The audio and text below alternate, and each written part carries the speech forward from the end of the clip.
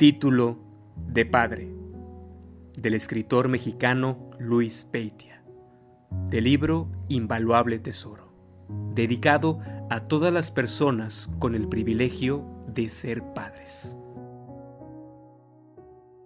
Proveedor de necesidades materiales, Dios sabe por qué te eligió para ser mi Padre.